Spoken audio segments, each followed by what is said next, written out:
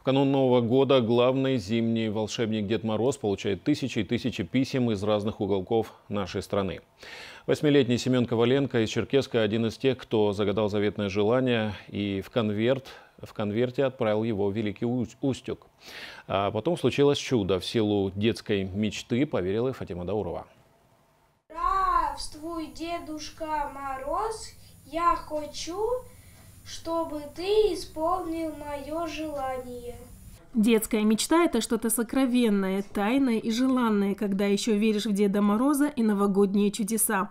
Поэтому именно в них есть огромная сила, незыблемая вера в то, что она обязательно сбудется.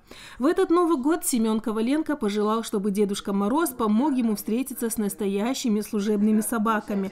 Любовь к ним проявилась уже с малых лет. За исполнение детской мечты взялись сотрудники кинологической службы Управления Росгвардии России по республике – к которым сегодня в гости отправился наш юный герой вместе с мамой. Доброе утро! Доброе утро. Что, пойдем исполнять желание? Все, вперед!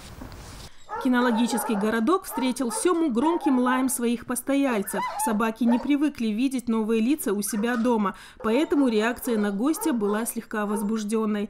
Очень скоро Семен привык к игривому настроению четвероногих – Первое знакомство состоялось. Теперь время заняться обедом. Вместе с кинологом Зауром Бастановым он распределяет необходимую норму корма для каждой собаки, не забывая в ходе дела задавать интересующие его вопросы. А вот сама собака в день этого хватает? А сколько раз этого кормите? Собак мы кормим два раза в день. Утром кормим, потом выгуливаем, потом вечером еще раз кормим. Этого им хватает на сутки. К кормлению служебных собак кинологи относятся очень серьезно. Рацион должен быть насыщенным и разнообразным, богат витаминным комплексом. Специальный сухой корм полностью подходит по всем стандартам. Наверное, поэтому питомцы с таким нетерпением ждут время обеда и с большим аппетитом быстро сметают свою порцию. Ой, как она радуется. Кушать, наверное, сильно хочет. Да, на сутки, давай покормим собачку. Проходи, не бойся. Давай я тебе помогу.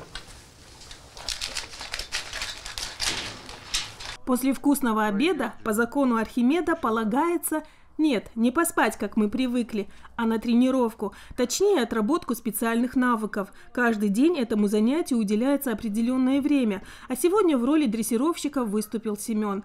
Его новый друг Зевс по профессии разыскник. Он точно определяет наличие любого взрывчатого вещества. Характер бельгийца суров в деле, но сегодня игривость взяла вверх. Ребята нашли общий язык. Новоявленные друзья вместе отрабатывали элементы. Команды молодого кинолога Зевс выполнял весело и с азартом, чему Сема был несказанно рад.